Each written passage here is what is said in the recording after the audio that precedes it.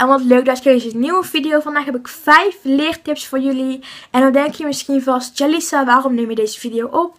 Er zijn al zoveel uh, leertips, uh, video's. Dus ja, maar ik vind het gewoon super leuk. En voor mij helpen deze tips echt super goed. Dus misschien helpen ze voor jullie ook wel. En leren jullie hier nog iets van? En gaan jullie ze ook misschien wel gebruiken? Uh, misschien zit er een tip of tips bij wat je denkt van Jalisa. Uh, zoveel andere YouTubers hebben dat ook gezegd.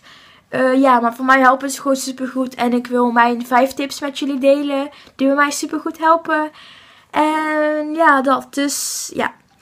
Vind je deze video nou al leuk? Dan even alvast een blauw duimpje omhoog. En dan gaan we nou over naar de 5 tips. Tip 1. Maak een samenvatting. Dat helpt zoveel. Als je bijvoorbeeld een heel hoofdstuk moet leren met, uh, laten we zeggen, 20 bladzijden. En je gaat iedere keer die 20 bladzijden zo overlezen. Dan leer je echt niks van. Maak een samenvatting van die 20 bladzijden. Dat je bijvoorbeeld maar 5 bladzijden overhoudt. Dan hoef je maar 5 bladzijden toch te leren. Dus die samenvatting hoef je dan alleen nog maar te leren.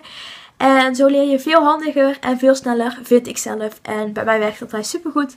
En ik gebruik deze methode zelf ook. Ja, al deze tips gebruik ik ook. Dus ja, dat was tip 1. Gaan we nou door naar tip 2. Uh, eh, leer niet te lang. Ga bijvoorbeeld niet twee uur achter elkaar leren. Leer bijvoorbeeld 45 eh, minuten en stop dan. Ga dan even een uurtje niks doen of gewoon met, ja, met je telefoon bedoel ik daar dan mee. En ga naar, naar de rand weer leren. Uh, zo blijft het veel beter in je hoofd hangen. En dan stamp je niet heel je hoofd zeg maar vol. Uh, dan heb je ook rustig tussen zitten. Want ook niet bijvoorbeeld acht lesuren bij school achter elkaar. Daar zitten ook pauzes tussen. Dus voor mij helpt het echt super goed. Dus dat was tip 2. Gaan we nou over naar tip 3.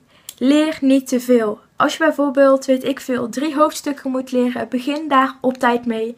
Meestal geven docenten hun echt wel op tijd op, misschien een maand van tevoren. Leer dan bijvoorbeeld de ene week, um, de ene week ja, de ene dag dat hoofdstuk, dan dat hoofdstuk en dan dat hoofdstuk. En gebruik daar, ja, drie, heb je dan drie dagen voor nodig. Um, dan, en dan begin je weer opnieuw. Dus dan heb je zeg maar, leer je eerst die de, uh, vandaag bijvoorbeeld leer je dan hoofdstuk 1, morgen hoofdstuk 2 en overmorgen hoofdstuk 3. En dan begin je weer hoofdstuk 1, hoofdstuk 2, hoofdstuk 3. En dan zo ga je verder totdat je die proefwerk hebt, dus 1 tot en met 3 dan. En dan zit het bij mij altijd veel beter in mijn hoofd dan dat ik echt gewoon alles tegelijk leer. Dus dit was tip 3. Gaan we nou over naar tip 4. Maak een planning.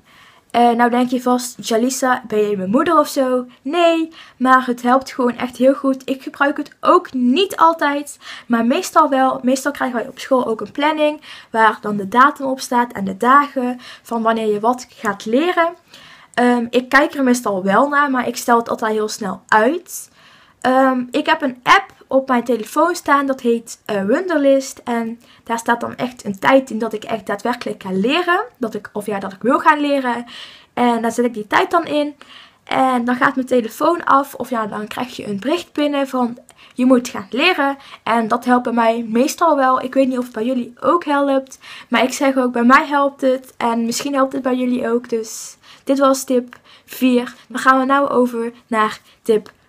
De laatste dus.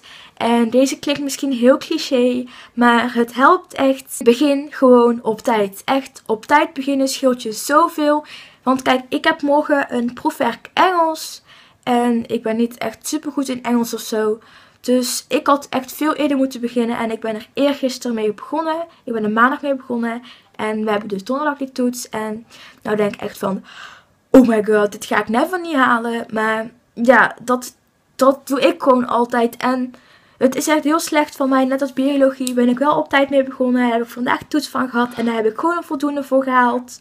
Dus dat helpt echt. En nou ben ik alleen heel erg benieuwd dat ik voor Engels ga halen. Want ik ben echt heel erg zenuwachtig. Nou ja, nou ja, niet heel zenuwachtig. Want ik ben nooit echt super zenuwachtig voor toetsen of zo. Want ik heb geen faalangst. Want ik heb zoiets van... Um, ik maak hem gewoon en ik zie wel wat eruit komt. Maar het kan ook zijn dat je faalangst hebt. En dan zit je natuurlijk echt zo de stress van oh my god, ik ben veel te laat begonnen. Dus echt, begin gewoon echt op tijd. Neem dit alsjeblieft van mij aan. Want hier haal je zoveel betere punten voor. Als je een 7 haalt, eh, dan kun je makkelijk een 8 halen als je veel eerder begint. Dus dit waren mijn vijf leertips. Hopelijk vond je ze leuk en interessant. Of nou ja, interessant, leerzaam. En heb je er iets van geleerd. Laat zeker even hier beneden in de reacties weten of jij ook een tip gebruikt of gaat gebruiken. Dat lijkt me heel erg leuk om te weten. En dan wil ik jullie nu bedanken voor het kijken naar deze video. Hopelijk vond je deze video leuk. Doe dan even een blauw duimpje omhoog. Vergeet niet te abonneren hier beneden op mijn kanaal als je het nog niet hebt gedaan. En dan zie ik jullie weer bij de volgende video. Doei doei!